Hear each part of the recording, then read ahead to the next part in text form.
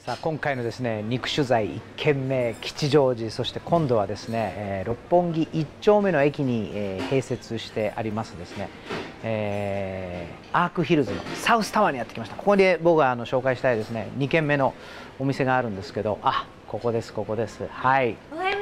おはようございます。おはい。太郎さんお待ちしてました、え僕え僕ですか？はい待ってました、はい、アップアップガールズかっこかりの仙石みなみです。よろしくお願いします。よろしくお願いします。なんでここにいるんですか？あのなんか太郎さんが美味しいお肉を食べに行くっていう情報を耳にしまして。何？それで？はい私肉食なので、ええ、いやこれはぜひ一緒に美味しいお肉食べたいなと思いまして。本当、はい、肉食女子なのね。そうです。先にここで待ち構えてましたナイストミーチュー。ナイストミート。ナイストミートのミートは合うと肉のミートと合わせてナイストミーチューでございます。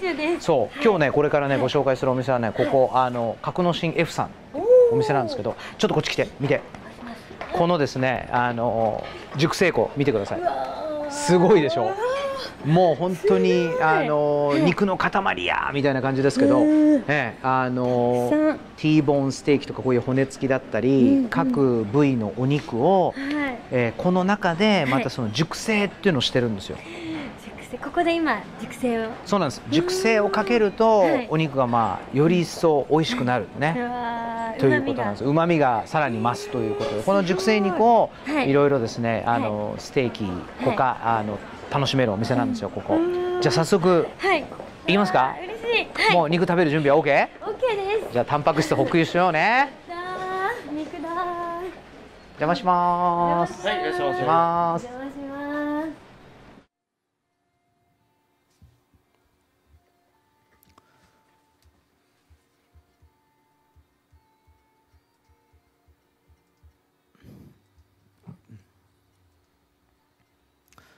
これはですね。こうえそこう部位ありきの素材の乗り降りが今回一番美しい感じがするね。あなんかユーストだけであ YouTube だけで成立してるんじゃなくてなんかオンエアともなんかうまくなんか編集が。なるほどね、まあ、俺が上手に喋ってるからって言いたかったんですけどね。ねラジオラジオとテレビっぽいこと両方同時に考えなきゃいけないから意外と大変なんだよねほんとね。なんかテレビじゃないんですけど、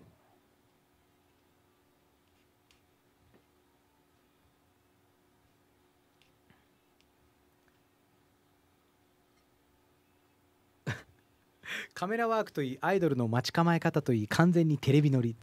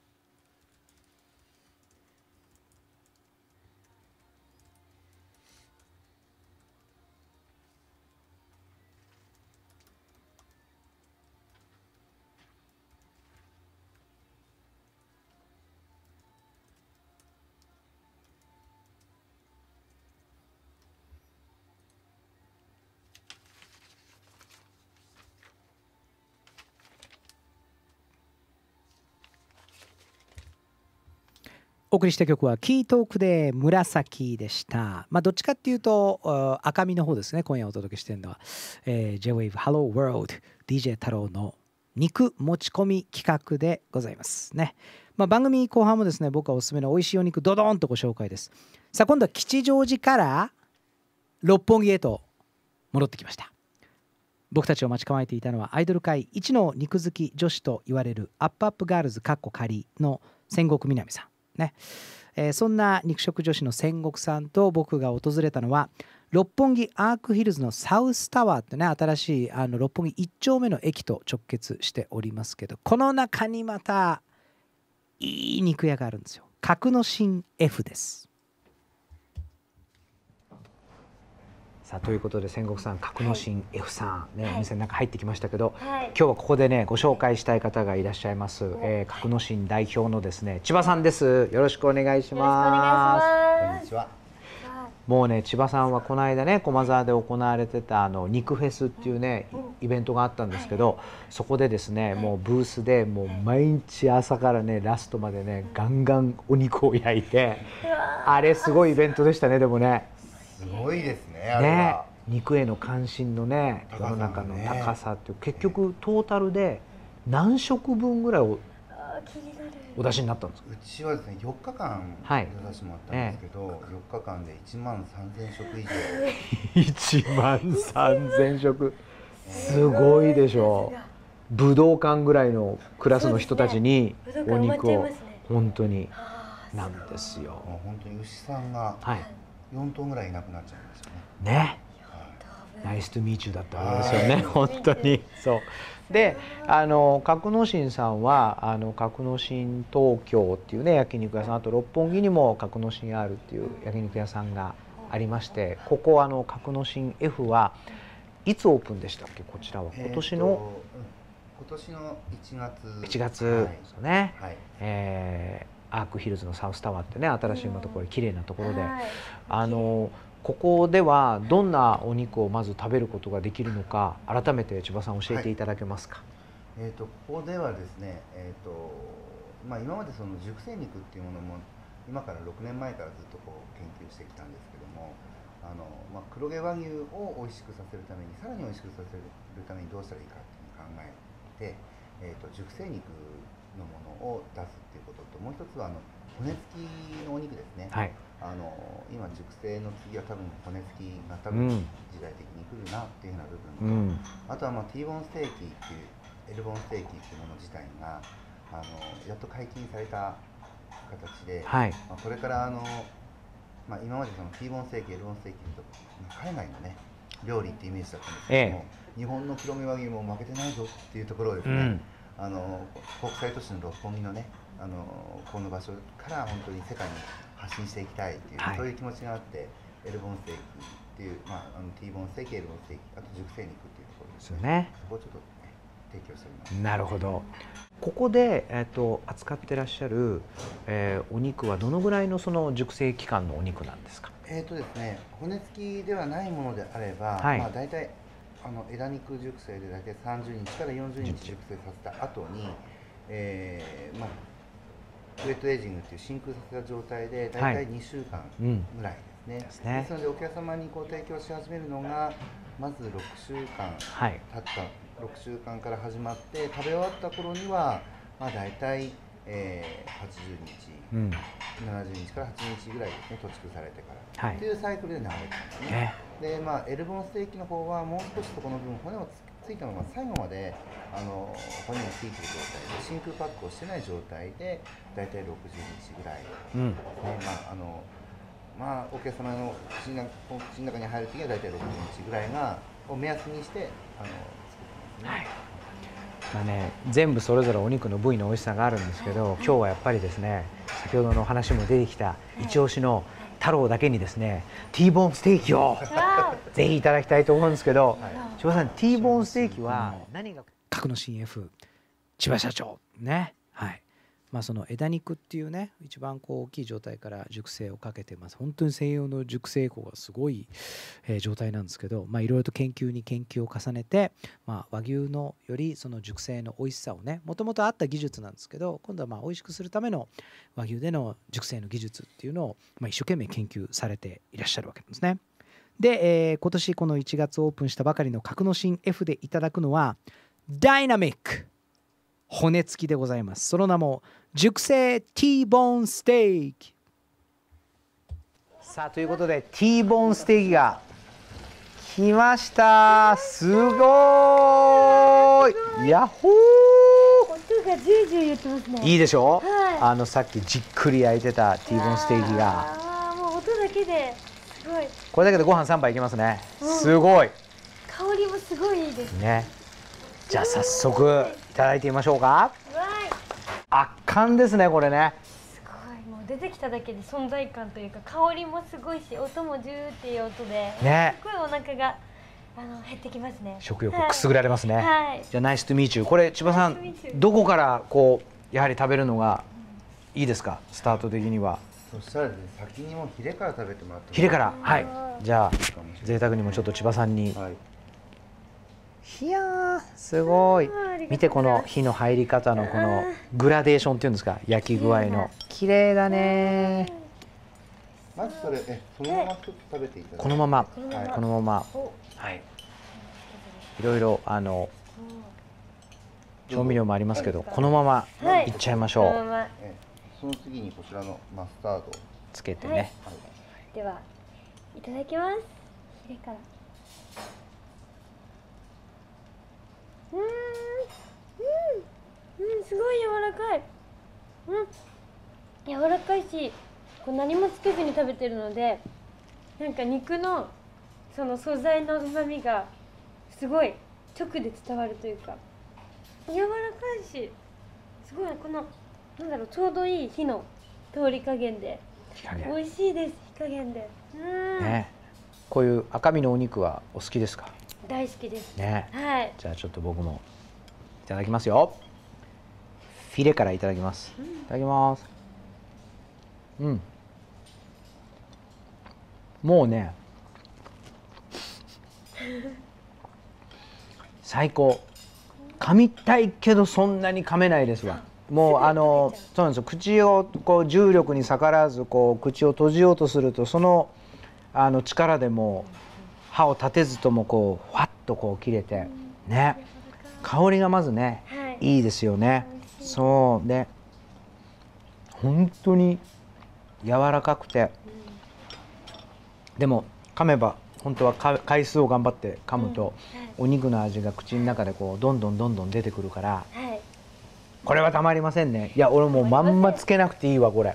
そのままで、そうですね。ねあの塩と胡椒だけ、まあもうそそれが基本ですね、はい。あとはもうお肉のそのうまみとか香り、うん。香りですね。ね。香りのところがすごくこううまあ奥深いっていうか、まあ、香りを楽しむみたいな形そうですね。ヒレをいただきましたけど、はい。次は？はい。それねじゃあですね次はササーロインのところ。サーロインのところ、いいですね。今度はちょっと先ほどよりもこうジューシーな部分のお肉になりますけどこれはあの何かちょっとこう粒粒はい。マスタードをじゃあ今度はつけて、はいそうですね。あいただいてのそのままでも全然平気なんですけど、はい。はい。あのこのサーロインの、はい。あの、えー香りとその、はい。うん、サシも入ってるのでサシを調和するのにもこのマスタードもすごく合います、はい。はい、ただいてみましょう。この粒マスタードを乗っけてサーロインの部分をじゃあいただきます。うん。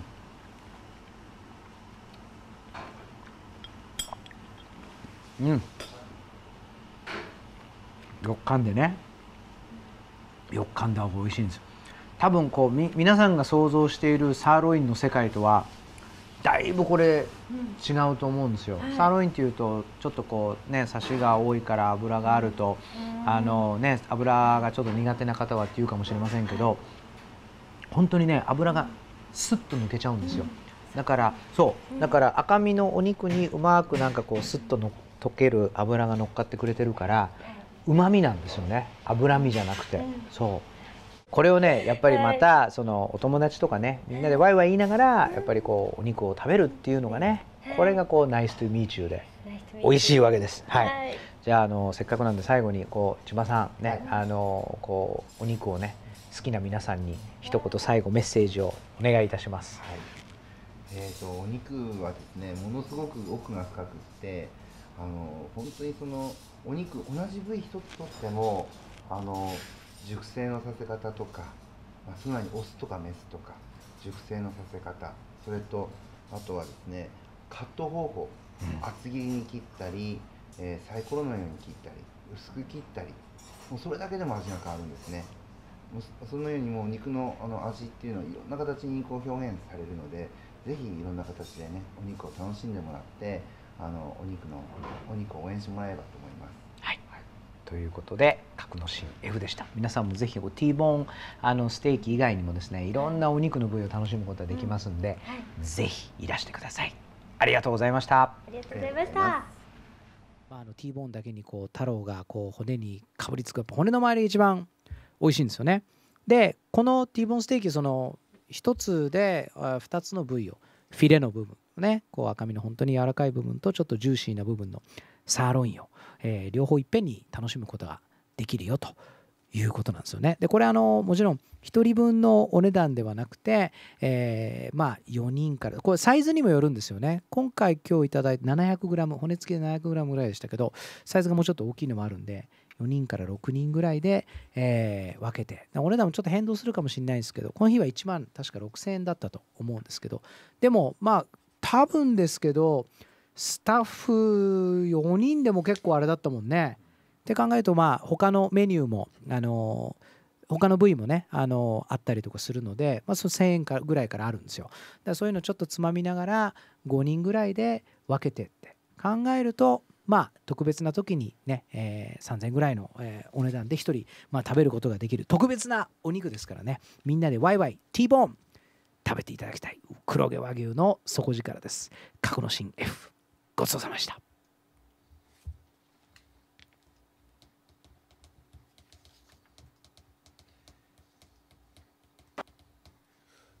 ん最近結構やっぱ肉あれですねいろいろ食べてますねいろんな種類の。食べてますよ。太郎さんが太郎散歩してますよ。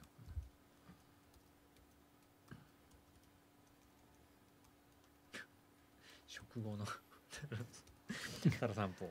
太郎散歩。太郎散歩。これすげえなこの感じ。この絵がすごいですね。ちゃんと食後になかなかウォそうーキングしてますから上りに鶏肉の日。って普通に多分さ歩いてます結構移動しましたもんねこれね。サウスタワーから今度は。ミッドミッドの方までミッドタウンまで。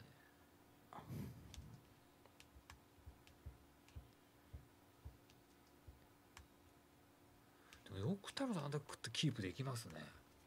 うん。やっぱ運動量が。最近そんな最近そんな運動できてないんですけどね。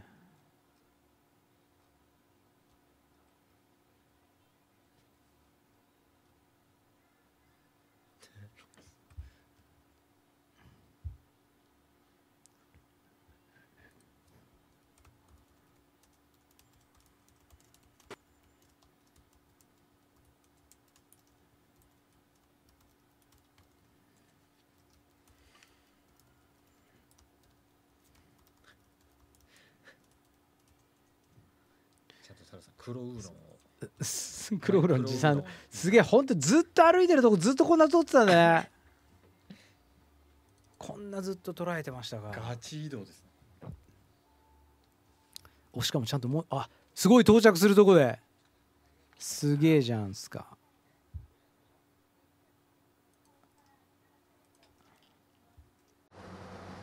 さあということで、はい。天国さん。はい先ほどの T ボーンステーキ、はい。ね、はい。美味しかったでしょ？美味しかったです。もう香りから味からすべてを堪能させていただきました。ね、はい。でちょっと食後の運動がてら 六本木をぶらりいたしまして、ぶらり。はい。ここはまた六本木のミッドタウンそばにありますね、はい。ベジピックというお店なんですけど、はい。えこちらはどんなお店なんですか？こちらはですね、はい。あの今度は基本は豚がメインうん。ベジとピックだからお豚とお野菜なんあの韓国スタイルのですね、はい。サムギョプサルはい。あお店の前に書いてあります。書いてありましたね。よく見てくれました、ありがとうございます。はい。ねまあ豚のねあの、はバラの部分のお肉を焼いて、うん。あのハサミでね、はい。程よい大きさに切ってで、えーそれをお好きな野菜で巻くんですけど、はい。ここはねあのーいわゆる無農薬のね、えーお野菜色とりどりのお野菜すごい綺麗なんですけどそれがまず食べ放題でおすすめはベジピックセットっていうですね、あのー7種類のお味の、はあのーサムギョプサル7つこうお肉があってそうなんですよ。それで7種類の味あるんですよ。食べたことある味とちょっとカレー味だったりとかあ。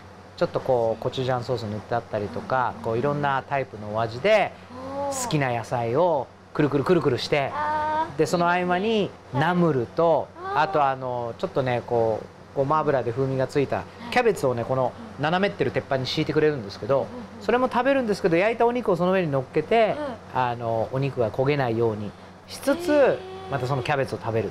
うわー美味しそそう。で締めに焼き飯が出てくるんですよ。お。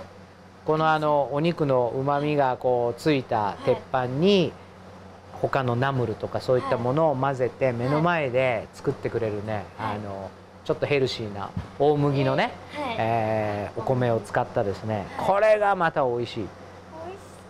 ベジピックセット。お野菜食べ放題ではい。お一人点で2380円。え？2380円で1380円で食べ放題。えー。そうです。だからお肉を食べたい人はまたこう追加ではい。あの違うタイプのうんあのお肉もあんでうわーあの豚のねちょっとこうメガバラねちょっと大きいね、えーそう。お肉もあったり足りない人はちょっとお肉をプラスしてでもお野菜は食べ放題。そうもなんですよ。うすごい食べに行きたいです私も。でしょ？なのでお連れしたんですけども、はい。今日はね実はまだあのメニューには載ってないわ。新しいなんか肉をねはい用意してくれてるみたいで、今後出てくるんだと思うんですけど、はい。その辺の詳しいお話をですね、えーお店の代表のですね、はい。山本さんにお伺いしてみたいと思います、はい。山本さんどうぞ。うんね。どうも。どうも。今日はねあの健康診断だったからちょっといつもよりおとなしい。わ 重い感じ。で大丈夫です大丈夫です。山本さんなんか山本さんもうあのベジピックのあのセットのねお肉だったりってまだオープンしてここ2月の20日からですよね。まあ2ヶ月ちょっと2ヶ月ちょっとなのに早くもなんか新しい肉というか新メニューがあるということで。そうですね、はい。あのうちお肉のは全部鹿児島の黒豚を使ってるんですけれども、でまああのその黒豚を仕入れてるから、まあ、ちょっといいお肉ないのかと。うん。ということでその牛肉は実はありますおうち豚じゃないから。ちょっとまずいかなと思ったんですが、ええ。まあじゃあちょっとその牛と豚をちょっと対決させてみようなるほど。えー対決。だから今日はこの後はまさかこのベジピックなのに ビーフ出てきちゃうの？っていう。ちょっと出してみましょう。はい。本当ですか？新しい。楽しみにしております。はい。お願いします。はい。よろしくお願いします。えー続いておすすめするのは同じく六本木ミッドタウンそばにあります、えーベジピックというお店なんですけどまあこちらでですねいただくのはこれまた塊なすごいお肉なんです。どうぞ。さあということで山本さん自らこれはもう初ですね。本邦初公開ですねこれ。テラビーフお願いします。お願いします。さあ鉄板の上にこれは重さにして何百グラム分？これで約300グラム300ぐらいですか？もっとありそうですけどねこれ。これで300はあ。いい色してますね。はいすごい赤の色が綺そう。なかなかね、はい。あの要はステーキハウス行ってもこの厚さじゃなかなかやらないですね。ね。すごい分厚くて。はいでしょ？はい。なのでこうじっくり焼いていく感じですね。さあこれで今あの 6, 6面すべて焼き色がつきましてすごい。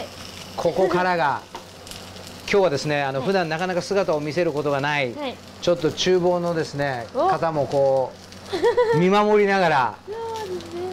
あの切り手は彼にやってもらいます。お。さいあいいですね。き切る。切るのは桑田さんが。すごい。いい感じもうナイスバッテリーコンビですね。焼いて焼きの山本切りの桑田ね。いいですねこうゆっくりゆっくり。切りのください。おおっと。切りりますよ。ありますね。切りますけど、どれぐらいで切りましょうか？いやこれいやもうちょっと今日お任せしますよ。任せて。はい。あんまり薄すぎない厚すぎないそうです。ね。おほーい。ああーすごいすごい。うわー。すごいこれは。やばいいやばいこれはもう断面のグラデーションがもう半端ないですこれ。ほらでもこうちゃんとねゆっくりこう焼いてってるから肉汁がこうビャッと出ない出てこないでしょ？はい。綺麗にちゃんとそ美味しそううです。いいっすねこれは。この周りと中の色の違いがまた、なんかあのちょっととトロですかって言いたくなるようなね。あであとはこの切った後にはい。あのまあ僕はもうこのまんまでもうベストなんですけどーはい。お好みのちょっと焼き具合をねちょっと人によっては少しちょっと焼き入れをつけた方が良ければね。まあ僕はあの片面焼いて片面が結構レアめでやるのが結構好きかなっていう。もういいですね。いいですね。いいですねもう。もういっちゃってくださいじゃあこれ。えーいいですか？いっちゃってください どうしよ。うつけつけない何かつけた方が。あなんかねつけた方がいいと思う。うん。あのちょっとさっぱりめが良ければポン酢だしお肉の味わいを味わうんだったら塩コショウがいいですしね。はい。塩コショウで。いきたいと思います。塩コショウでいってみてください。い。やーちょっと嬉しいです。どうぞ。新しいメニュー。いきます。いただきます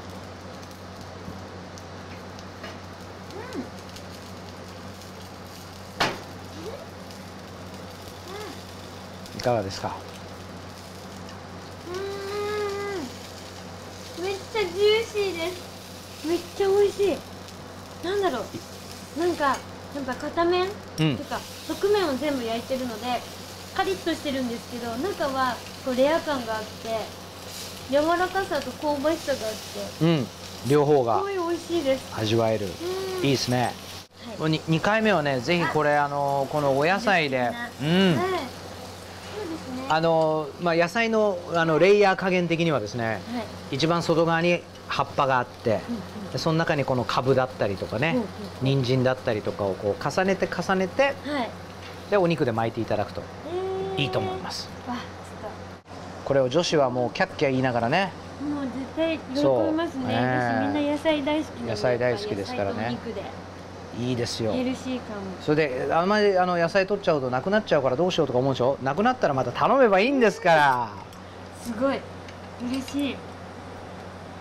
もう本当にあの野菜のあの貯蔵庫がね目に見えるところに今あそこにああそこにいつもはい。壁側にバーッと置いたんですよあそこに全部ね野菜が並んでると本当にねもう野菜のお花畑がお店の中にあるみたいにね。いいですねそう巻いて巻いて。あちょっとこれは僕も初挑戦ということになりますので。いただきます。いいっすよ。音がいいっすよ。うん。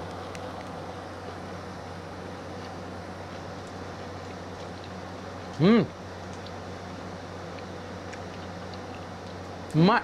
うんい。あ。うん今回僕は言葉数少ないですね。あの本当に美味しいとあんまりもううん。言葉が出たない。食べに集中しちゃうとか。あのおお肉のちょっとジューシーさがはい。野菜に乗っかってくれるとですねうん。なんかやっぱこう野菜とお肉の相反するものが うまくこう間つないでくれるねはい。感じがあってこれは全く別別物ですね。